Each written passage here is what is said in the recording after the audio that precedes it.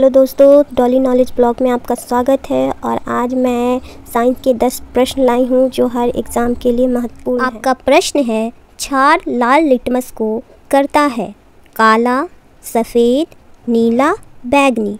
इसका उत्तर है नीला। आपका प्रश्न है, व्यस्क व्यक्ति का हृदय एक मिनट में कितनी बार धड़कता है?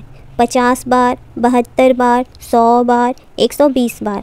आपका उत्तर है सौ बार। आपका प्रश्न है, हरी मेहंदी में निम्न में से कौन सा पदार्थ पाया जाता है, जिसके कारण वह लाल हो जाती है? लासोन, पोटेशियम, कार्बन, आयरन। आपका उत्तर है लासोन।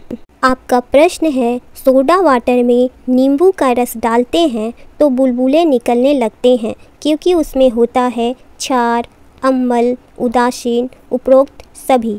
आपका उत्तर है क्षार। आपका प्रश्न है, कटे हुए सेव का रंग कुछ देर बाद भूरा हो जाता है, क्योंकि वह वायु से क्रिया करके बना लेता है।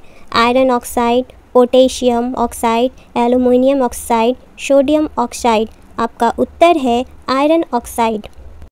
आपका प्रश्न है, चूने में पानी मिलाने पर कौन सी गैस निकलती है? Oxygen, carbon dioxide, hydrogen, helium. आपका उत्तर है, कार्बन डाइऑक्साइड।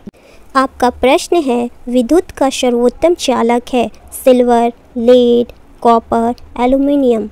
आपका उत्तर है, सिल्वर। आपका प्रश्न है, किस धातु को चाकू से आसानी से काटा जा सकता है? Sodium, mercury, copper, iron. आपका उत्तर है, सोडियम। आपका प्रश्न है, लाल रक्त कणिकाओं को निम्न में से किस नाम से जाना जाता है? विवाणु पल्स आरबीसी, डब्ल्यूबीसी। आपका उत्तर है आरबीसी।